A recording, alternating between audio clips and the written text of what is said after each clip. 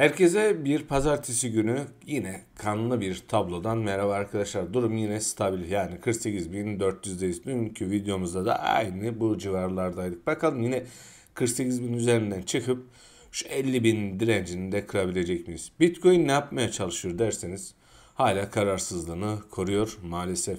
Sadece bizim piyasalar değil arkadaşlar. Yani global piyasalarda da maalesef bir kararsızlık var. Geri çekilme var. Önümüzde hala büyük sorunlar var. Bak önümüzde FED toplantısı var. Dünkü videomda da birçok e, sorunu söylemiştik. Düşüşün nedenini belirtmiştik. E, bunun üstüne bir de zaten Evri Grady yine e, çığlıklarını attı. Help me diyerek yani batıyorum yardım edin. Tabi bizler de battık çoğumuz doğru değil mi arkadaşlar? Ee, en sonki videomda demiştik ki Cuma günkü kapanış videomda dedim stoplarınızı kontrol edin. Buradan bir geri çekilme bekliyoruz derken 40 bin lira, 42 bin lira kadar geri çekildik. İşin gerçeğini söylemek gerekirse ben o kadar sert bir geri çekilme beklemiyordum. Yani 48'lere 46'lara gelebiliriz diyorduk ama 42'lerde e, geleceğini hiç umut etmiyordum. 52 bin desteğini tutacağını söyleyenler vardı. 52 bin desteğini hiç tutmayacağını da belirtmiştim videoda Cuma günkü. Şimdi son durum ne? Tabi ondan önce şöyle bir önümüzdeki haberlere bakalım. E, haberlerde neler var? Arkadaşlar öncelikle en önemli haberimiz tamam bu korku endeksini biliyoruz. Şuradan şöyle bir FED faiz kararı var 15 Aralık'ta. 15 Aralık'ta bakalım FED faiz arttıracak mı? Genellikle şöyle bir öngörü var.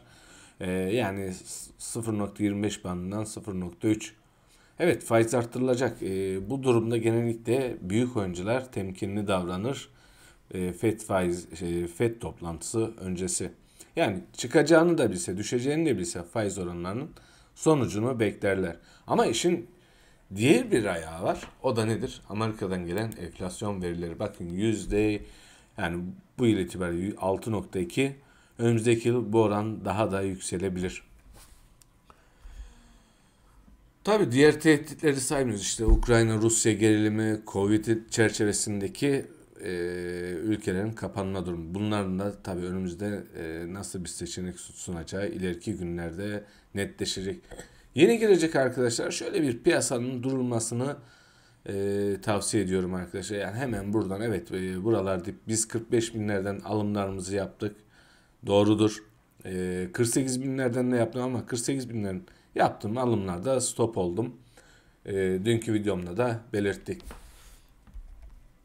Gelelim e, şöyle global e, finansal piyasalardaki duruma. Bakın S&P yine eksilerde maalesef arkadaşlar. Hafiften bir toparlanma eğilimi var ama hala pozitif e, yeşil mumları yakmamış. Aynı bizim e, Bitcoin gibi yani 40 binler, 42 binlerden şöyle bir 48 bin, 49 bin denemesi yaptık ama e, hala yönüne karar vermemiş hangi tarafa gideceğim diye. O yüzden temkinli olun. Evet e, buralardan ufak miktarlarda belki alınabilir ama e, ben hala e, nakitteyim arkadaşlar. Çok ufak miktarda aldığımı söyledim. 62 binden beri biz nakite döndüğümüzü, yarı nakite döndüğümüzü 57 bin dedik. Cuma günü kapanışında da dedik ki arkadaşlar durum ciddi. Ben stoplarımı yukarı çektim. En ufak düşüşte stop olup nakite döneceğim. Yani özellikle Amerika'dan gelen negatif havalar sürüyor ama şöyle bir Avrupa ve e, Asya pazarlarında da hafiften bir yeşillenme var. Gelelim haberler kısmına. Haberlerde neler var? Bakın şöyle bir poligon yani Matic e, bir yatırım çekiyor arkadaşlar. Özellikle son 3 gündür baktığımda e, Ethereum, e, Matic, Algo ve Başka hangi coin? BNB. Evet BNB daha dik e, durduğunu gördüm arkadaşlar.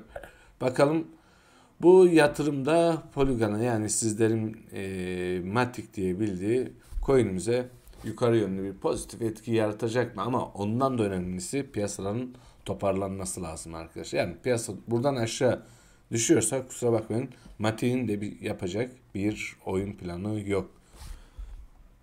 Başka neler var haberlerde? Evet e, Cardano test anı başlattığını hazır olduğunu söylüyorlar. Yani isteyenler haberin detayını okuyabilirler. Ee, İndonezya'dan bir haber var arkadaşlar. İndonezya kriptolarla savaşabilmek için kendi kripto pardon kripto demişim dijital paralarını piyasaya sürmeye hazırlanıyor. Geldik bu diyarların kralına arkadaşlar. Yani son durum ne derseniz evet şöyle bir düşen kanalın içerisindeyiz. Tabi Bitcoin'e geçmeden önce de şöyle bir hatırlatma yapalım arkadaşlar. E, elimizden geldiği kadar biliyorsunuz sizlere yardımcı olmaya çalışıyoruz. Uyarılar yapıyoruz. Piyasadaki olumsuz haberleri en kısa zamanda sizlere e, haber veriyoruz. Sizler de hemen videomuzun altında üye olma butonunu tıklarsanız seviniriz. Kanalımıza destek vermiş olursunuz. Yorumlar kısmına da incelememizi istediğiniz coinler ya da sorularınız varsa yazın en kısa zamanda zaten cevap veriyoruz. Kasım ayında demiştik ki arkadaşlar bakın şöyle bir düşüş trendimiz sonra kanala çevirdiğini söyledik. Bu kanal çerçevesinde hareket ettiğimizi de vurgulamıştık. Bu kanalda evet şurada bir kırdık. Bu kırılımla biz de girdik ama Cuma günkü videomda biliyorsunuz e, uyarılar yaptım. Bakın arkadaşlar iş ciddi. Ben burada stop oluyorum. E, durum düzelirse özellikle şu bandımızı alırsak ben pozitife belki dönebilirim ama 62 bin üzerine kırmadığımız sürece ben tamamen pozitif olmayacağımı söylemiştim. Zaten 62 binde de biz yarın akiteye geçmiştik.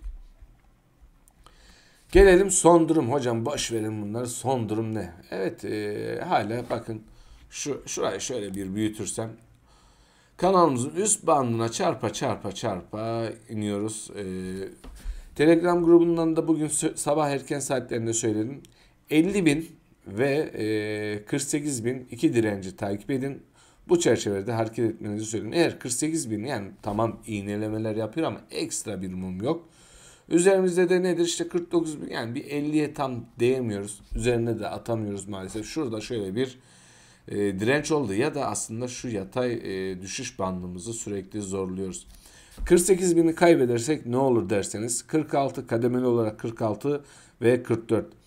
Sanki bu düşüş arkadaşlar e, pardon özür diliyorum. Şuradaki yine özür diliyoruz tabii ki. Şuradaki bakın arkadaşlar ilk videomda dedim ki Bitcoin attığı iğneleri unutmaz. Bazen doldurmaya gider. Eğer Doldurmaya giderse ilk e, karşılaşacağı direnç şey destek arkadaşlar 46 bin. Eğer 46 bin bizi tutmazsa 44 bin civarlarına doğru bir geri çekilme bekliyorum ama sanki buradaki düşüşü Mayıs, Haziran mıydı? Haz, e, Haziran, Temmuz ayları olması lazımdı. Tam e, aklımda değil ama şuradaki düşüşe benzetiyorum. Neden arkadaşlar? Burada da çok sert bir şekilde düştük. Sonra sürekli bakın şurada e, burada da şöyle bir yatay bandımız olduğunu söyledik. Bu yatay banda çarpa çarpa çarpa şuradaki bakın iğnemizi doldurduk. Ondan sonra kırılmasıyla beraber yukarı yönlü yine alt coin sezonu. Tabi birçok e, altcoin çok güzel kar bıraktı. Bazıları ise yerinde saydı. Yani buradaki e, düşüş aynı sanki buradaki düşüşe biraz benzetiyorum. Eğer böyle bir şey olacaksa büyük bir olasılıkla dediğim gibi yani benim tahminim 44 binden döneriz diye düşünüyorum. Ee, 40 binde de onun altında da 40 binde bir desteğimiz var. 40 binin altını hiç konuşmak istemiyorum arkadaşlar. Zaten 40 binin altı artık uzun soluklu bir ayı dönemi e, sürecine girmiş demektir. Bunun dışında başka ne diyebiliriz? Evet yani bakın arkadaşlar şu iki renç arası uzun dönemli bana göre ekü, ekümüle alanıdır. Yani buralarda ben alım yapacağımı söylüyorum. 46 binle de e, 42 binlerde 44 binlerde alım emirlerim var. Buralar uzun vadeli tutacağım coinler arasında yer alacak. Tutacağım coinleri de söyleyeyim. Ada, IOTA, IOTA ve Ada'yı hala uzun dönemli olarak tutuyorum arkadaşlar. Elimden bozmadım. Algorand ve Mati'yi de artık yavaş yavaş eklemeyi düşünüyorum.